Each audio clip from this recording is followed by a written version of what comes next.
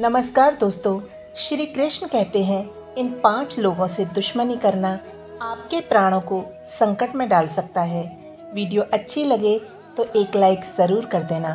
Number एक अंतरंग मित्र, बहुत करीबी मित्र अथवा ऐसा व्यक्ति जो आपके सभी राज जानता हो, उससे दुश्मनी करना आपको संकट में डाल सकता है। विभीषण रावण के सारे राज जानता था और उसने वह सारे राज राम को बता दिए, जिस कारण रावण मृत्यु को प्राप्त हो गया। नंबर दो, शस्त्री व्यक्ति। जिस व्यक्ति के हाथ में हथियार हो, उस व्यक्ति से झगड़ा या दुश्मनी नहीं करनी चाहिए, क्योंकि क्रोध अधिक बढ़ने पर वह हथियार का प्रयोग कर आपको नुकसान पहुँचा सकता है। नंबर तीन, मालिक या राजा। कहते हैं, मालिक या राजा से भी शत्रुता नहीं करनी चाहिए।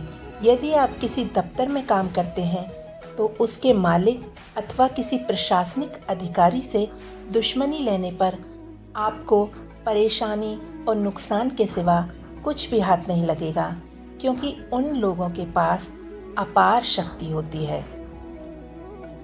नंबर चार मूर्ख व्यक्ति।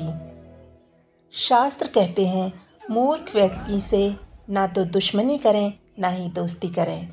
मूर्ख व्यक्ति उसे माना गया है, जिसे अपने और दूसरों के हित या अहित की जानकारी नहीं होती।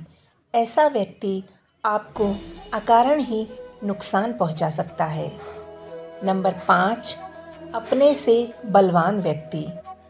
कृष्ण कहते हैं, जो व्यक्ति आपसे अधिक बलवान है, उससे शत्रुता करने वाला व्यक्ति मूर्खों की श्रेणी में आता है। जानकारी अच्छी लगी हो तो एक लाइक ज़रूर कर देना और चैनल को सब्सक्राइब भी कर लेना। धन्यवाद।